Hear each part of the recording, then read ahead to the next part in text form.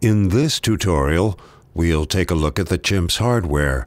We'll talk about the different sections of the front panel and the various connections available on the top and rear of the console.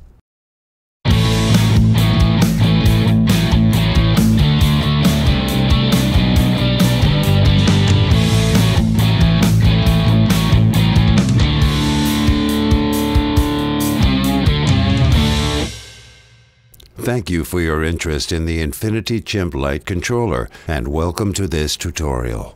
This tutorial is based on software version 1.3. If your chimp uses a different software version, the functions or user interface may be different. Please note that we refer to the chimp hardware keys as keys and the GUI software keys as buttons in this tutorial. Front panel. If we look at the front panel, we can see that it is divided into the following sections. Playback section, Programming section, Executors, and Masters. The playback section can be found on the left side of the front panel.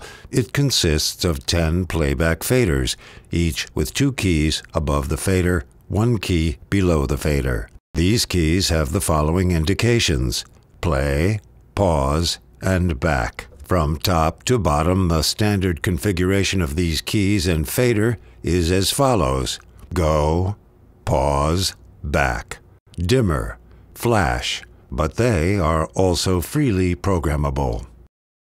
To the right of the playback section is the programming section. Here, you'll find all the keys you need to program a show and operate the connected fixtures. The programming section has been constructed in such a way that the operations and syntax commands can be performed quickly and easily. The four available rotary encoders are linked to the programmer in the software. The function of the rotary encoders depends on the chosen attribute. Underneath the Programmer section, you'll find the 10 executors to use for a single cue or for a cue list. The function of this key is set to toggle by default, but can be configured to something else.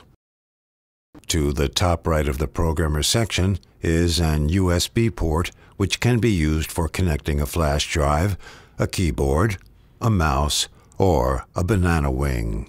Next to the USB port is the power button. And lastly, at the bottom right, you'll find four master faders. These are used for functions that are not page dependent, such as group, speed, fade, and size masters. You can also configure the Grand Master here. Back panel. The back panel contains all the connections for external peripheral equipment and the connections for the DMX universes. From left to right, we first see an IEC power connection. Next to this is the Ethernet connector.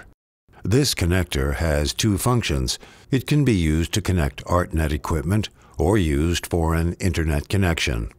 Software updates can be performed online via the Internet. In addition, there are up to two USB ports and up to two HDMI connectors. USB can be used to connect a touchscreen interface or connecting a flash drive, a keyboard, a mouse, or a banana wing. HDMI for connecting additional screens. The number of USB and HDMI connections depends on the type of chimp you have. A 3-pin XLR connector for audio input is also located on the back. This can also be used as a SMPTE input on the CHIMP 300. Next to the audio input are three MIDI connectors, MIDI in, MIDI through, and MIDI out. On the right side are the 5-pole DMX outputs. The CHIMP 100 has two of these outputs, and the Chimp 300 has four. The first DMX connector can also be used as a DMX input. This must be configured in the software. Finally, we see two desk light connectors on the far sides of the console. These are 3-pin XLR connectors, which can be dimmed via the software.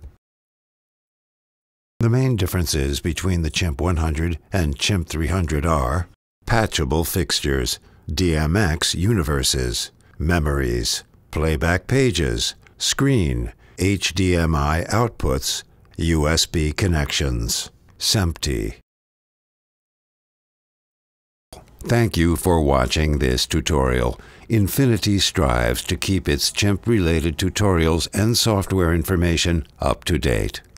Keep an eye on our social media channels for the latest information on the chimp.